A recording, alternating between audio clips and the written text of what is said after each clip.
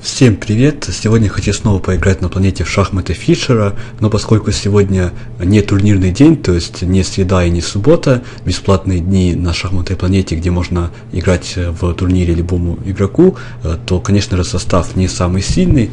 Э, я уже начал показ турнира со второго тура, могу показать вам состав э, сразу наших участников, то есть здесь, как видите, я первый по рейтингу, и, в принципе, а, вообще в не турнирные дни, то есть кроме среды и субботы, конечно, составы шахмата Фишера оставляют желать лучшего. То есть обычно они не очень как бы хорошие, и здесь, хотя и все равно не гарантировано, что вы выступите хорошо, но тем не менее состав все-таки не самый сильный, это объективно говоря, и поэтому в будущем буду стараться записывать уже турниры в более серьезные дни. Но тем не менее, сегодня хочу попытаться сыграть весь турнир, ну кроме первой партии, под запись. Первую партию я не успел записать, поскольку уже подключился слишком поздно и просто не успевал физически, но тем не менее попытаюсь записать пару а, других партий, или может быть даже если все пойдет хорошо, то и весь турнир полностью. Сейчас а, жду уже начала следующего тура, то есть а, Получается, сейчас осталась одна партия. А, в первой партии, кстати, я не сказал, я сыграл ничью, там была партия не самая хорошая, объективно говоря. Ну, то есть постараюсь оставшиеся партии провести достойно. И если все будет нормально, то постараюсь, конечно же, занять а, первое место здесь, поскольку все-таки рейтинг фаворит и должен оправдывать а, свой высокий рейтинг Фишера. В принципе, также скажу такую банальную вещь, что в шахматах Фишера не настолько важен цвет, поскольку здесь позиция абсолютно неизвестная, что для черных, что для белых, и тут можно даже черными получить лучшую позицию. То есть, конечно же, в этом плане цвет здесь не настолько важен, как шахматы классические, где уже есть какие-то большие анализы. А, ну, то есть, именно поэтому, как мне кажется, шахматы Фишера хороши еще тем, что проще играть на перехват. То есть сейчас я играю, конечно, белыми, играть на перехват белыми как бы не нужно у белых, и так есть преимущество темпа, но тем не менее э, черным играть на перехват очень просто. Ну и, кстати, в шахматах Фишера, что очень важно, я об этом вроде бы не говорил, с первых ходов бывают какие-то пешки не защищены, и на них можно напасть сразу же. Вот, допустим, сейчас пешка 7 черных не защищена, а поэтому я могу сыграть, допустим, f3, ход может не самый сильный, но просто пока напал на пешку, вдруг он не заметит. Бывает полезно ставить такие ловушки. Ну, конечно, соперник это видит, а, в принципе, это было очевидно, Поэтому тогда просто играю пока e4, захвачу центр, ну и выведу коня тоже. То есть пока у нас почти что полная симметрия. Да, вот сейчас уже абсолютно полная симметрия у нас на доске. Ну и хочется сыграть d4, но там возможен вариант слон b3, а b потом конь d4 или ед. Поэтому такой вариант мне не особо нравится. Придется играть как-то поспокойнее, типа слон e2. Ну и также, конечно, нужно будет сыграть слоном на e3 или слоном на f2 и вывести своего короля, то есть, вернее, ввести его в рокировку. А дальше все-таки я думаю, что план с d4 или f4, может быть, будет очень неплохим. Кстати говоря, не факт, что d4 здесь сильнее всего. Пока d4 точно не работает из-за слон b3. Но, в принципе, я думаю, ладья d1 и потом d4 имеет право на жизнь. Там, конечно, возможен будет размен коня на слона, но с другой стороны, вроде бы там никакой тактики нет. То есть у меня король будет на этой диагонали открытой, конечно, сразу я его уберу, а потом сыграю уже d4.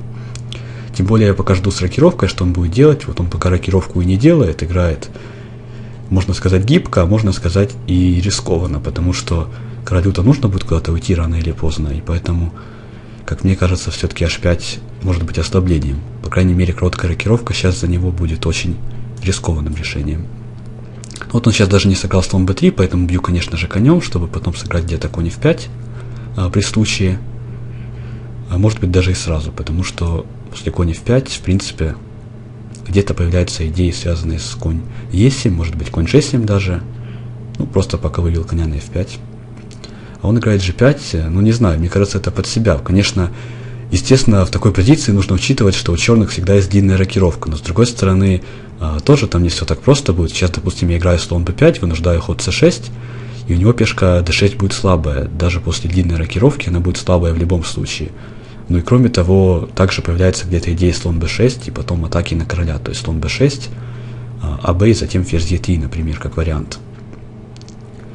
Ну а ход g5 сам по себе, конечно, вроде бы агрессивный, но от него пока толку, как мне кажется, мало, потому что на g4, ну как минимум я могу сыграть f4, э, может быть, есть и другие решения. Ну, кстати говоря, f4 сразу тоже заслуживает внимания, но не сейчас. Сейчас он хочет сыграть слон f5 явно, то есть мне нужно играть или конь на e7, или конь, возможно, d4. Наверное, конь d4 более сильный ход, чтобы, в принципе, с идеей поменять э, легкие фигуры при случае, ну и самое главное, не допустить ход слон f5. Вообще в блице, конечно, конь часто бывает сильнее слона, поэтому не всегда размен коня на слона бывает хорошим. Иногда это бывает плохо. Вот в данном случае пока я не хочу бить на e6 даже, что-нибудь другое постараюсь придумать. А, конечно, напрашивается ход f4. Да, я немножко открываю короля, но с другой стороны я открываю вертикаль для своей ладьи, если он будет брать. И поэтому, как мне кажется, это тоже не так уж и плохо. То есть, если он даже уйдет длинную рокировку, все равно вертикаль f будет открыта. И, как мне кажется, это для меня может быть хорошо. Хотя он, опять же, как видите, не бьет, но с другой стороны, можно сыграть слон h6 и лишить его рокировки. И, кстати, более того, там будет еще и ход слон h5. Не знаю, насколько он хорош, но, э, в принципе, выиграть пешку, почему бы и нет. Как вариант, можно сыграть вначале э, конь e6, потом слон h5. Но не знаю, насколько это нужно. В принципе, коня хочу сохранить, потому что конь на f5-то потом будет выходить в любом случае. Поэтому коня пока сохраняю. Пускай он сыграет слон f7, если он хочет. Мы можем разменяться. А он даже не играет слон f7. Нападает на моего слона. То есть, в принципе, а, здесь, наверное, нужно один раз забрать. Он заберет. И ладья d3, скорее всего. Все-таки у него король-то открыт. А, других пока идей не вижу. Ладья d3, хочу сыграть потом ладья g3 использовать открытую ли, линию. Потом, может быть, еще и h3 даже в конце. Или что-нибудь типа ладья f4 или ферзь f4. Ну, а такой ход ладья f6 даже есть. Не знаю, насколько хорошо. Ну, сыграю ладья f6, наверное. И постепенно буду ускоряться. Времени очень мало. У соперника тоже немного, но меня пока волнует больше мое время. То есть, конечно, да, позиция, по идее, выигранная. Две лишних пешки, король у него открытый, угрожает, допустим, ферзь g5 сейчас ладья g3 там неприятно, но с другой стороны, насколько все это опасно, сложно сказать. По виду, конечно, позиция выигранная. Ну, в любом случае буду играть а, пока h3. Не знаю, может ход не обязательный, просто сделаю форточку. И дальше, конечно, ферзь g3, а, вернее, ладья g3.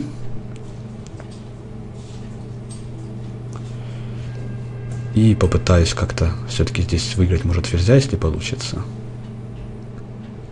Он меняться хочет, но меняться это, наверное, в мою пользу. Я здесь пешку выигрываю. Все он хочет менять, но все менять я не буду. Все-таки у него король-то слабый.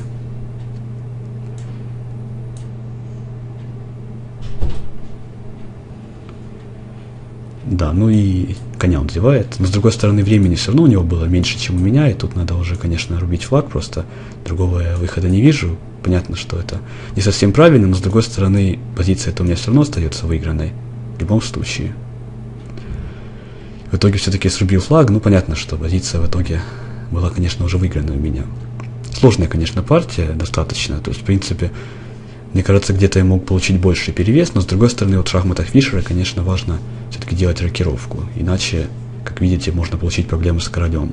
То есть я их не совсем хорошо использовал, но в принципе король у него, конечно, был довольно слабый.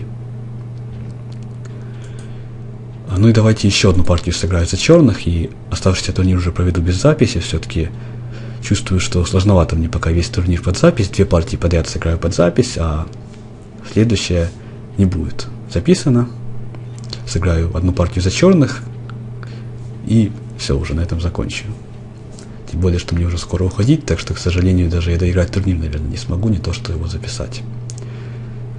Ну, покажу инфо соперника, я это не всегда делаю, покажу сейчас инфо соперника.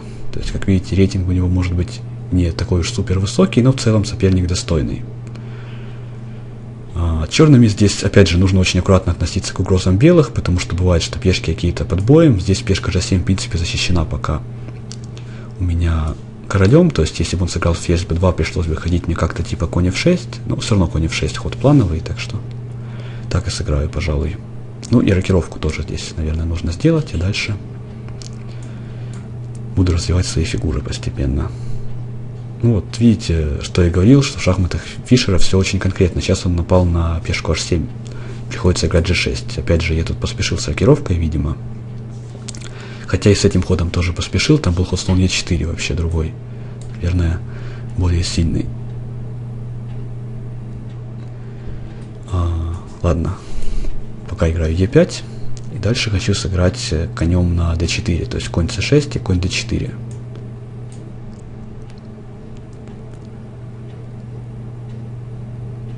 То есть, в принципе, если он заберет, тогда я заберу пешкой Е, там вертикаль будет где-то открытая, плюс мои слоны заработают в полную силу. То есть, получается, у меня оба, оба слона сейчас очень сильные. И кроме того, а, у него, кстати, проблемы с конем, непонятно, куда ему уходить, потому что на конь g4 я просто могу два раза забрать. Конь c4 он может сыграть, но там где-то может быть слабый король. Правда, вот не знаю, как конкретно это использовать. То есть ферзь c6 или ферзь c7. Два есть хода. По виду, мне кажется, ферзь c6 лучше, чтобы вынудить у него ход f3 и потом уже сыграть ферзь c7. Мне кажется, вот именно в такой редакции лучше. То есть на e4 я просто могу забрать э, на проходе. Вот. А если f3, как я и думал, то ферзь c7 теперь возвращаюсь. Если он сейчас сыграет f4, то ферзь c6 снова я вернусь. Или, может быть, даже конь h5 сыграю, кстати. Но конь h5 рискованно, потому что конь h5, есть там ход e3, я заметил, конь h5, e3, и если я забрал, то ферзь h8 мат. С другой стороны, если я сразу сыграл ферзь c6, у него все равно есть ход e3. С этим ходом нужно считаться. А, но правда, после конь h5 и e3 я вижу, что есть ход f6 еще. Вот даже так, наверное, сыграю. Конь h5, если e3, тогда f6. Если он забрал ед, тогда а, где-то там на f4 можно просто съесть. Да, f6 сыграю, естественно, бить плохо, сыграю так. Ну, а на такой ход э, просто конь g3. Конечно, меняться тут никто не будет. Есть ход конь e4, насколько он нужен, не знаю. Так, по виду ход не обязательный-то. Есть ход g5, достаточно рискованный, правда ну, не знаю, до конца не дочитал, не дочитал я, но уже опять идея в том, что на взятие там есть, допустим, конь 4 ответ, а если он не берет, э, ну, тогда, наверное, все равно конь 4 сыграю. То есть, э, хочу просто где-то здесь с помощью двух слонов поатаковать. Хотя пока он, конечно, здесь стоит очень надежно, плюс мне нужно про своего короля не забывать тоже, потому что пешка f6 у меня в многих вариантах ходить не может. Ну, пока-то может и нормально ходить пешка f, но не знаю, как потом. Пока сыграю ферзь c6, где-то привяжусь к этой пешке, но мне, правда, не нравится, что у меня ладьи вообще не играют, и надо как-то ладьи бы тоже мне задействовать. Этой всей позиции, ну вот, допустим, таким способом, хотя вот, в принципе, опять же, тоже пока ничего такого конкретного я не вижу. То есть, допустим, я разменялся, сыграл ладья e8, но он ферзем ушел. Что дальше, пока непонятно. То есть, вроде бы активно у меня слон у него выключен, но не видно, что дальше. Ну, сыграю ферзь e4 пока. Но ферзь e4 тоже ход без особых угроз. Ферзь e1 разве что. Такая есть идея. Ну, как вариант, в принципе, возможный ход. Ферзь d1, но вот от него защищается этот соперник. Появляется ход ладья g8, ферзь э, уходит куда-нибудь и слон f4. Где-то там в вариантах будет. Так, ладья e8, ферзь h4. Да. Там где-то слон f4 еще. Ну, сейчас я уже не могу до конца дочитать, но похоже, что все это работает. Ферзь f4, слон, h, слон f4, э, ферзь f4, ладья g2, ладья g2, король h1, а вот так, ну тогда выиграл ферзя. Соперник будет явно играть до мата, ну, пускай играет. Я надеюсь, что мат успею поставить. Так, пока коня съем, конечно. Главное играть очень быстро, потому что времени у меня очень мало. Могу не успеть просто выиграть. Сейчас пока проблемы с планом у меня, как видите. Ладно.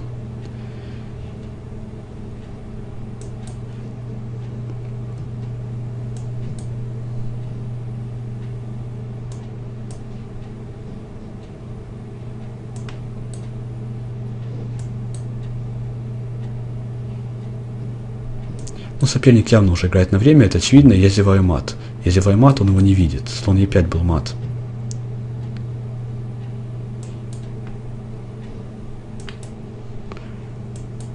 Тоже чистая игра идет на флаг, конечно. Игра просто никакой критики уже не заслуживает. Это просто уже полный бред, конечно, тут. Хотя где-то, может быть, я мат еще успею поставить. Вот успел. За 0.04 до конца. Но эта партия просто в конце уже абсолютно была неадекватная. Я не знаю уже, что я там говорил во время партии. Уже не контролировал свой язык. Мат, конечно, успел поставить, но играл плохо. Но, в принципе, партии вот до этого момента, даже чуть раньше, вот до момента а, с ходом слон f4, мне кажется, что я провел неплохо, потому что здесь, если ферзь f4, я такой вариант считал, как ладья g2, король уходит, а дальше, допустим, просто ладья f2, он обязан, допустим, бить, собрал, то есть это самое простое, у меня лишнее качество. Хотя, опять же, времени мало, я бы, наверное, не успел выиграть, но э, выиграл бы как минимум качество. То есть выиграть эти партии именно не успел бы, но позицию получил бы хорошую. Ну что ж, ладно, на сегодня я уже точно заканчиваю. Надеюсь, что вам понравилось. Скажу честно, что было сложновато, но ничего страшного. Буду постепенно стараться комментировать больше партий. Наверное, в будущем будет полегче. Что ж, на сегодня всем спасибо и до скорых встреч в новых видео.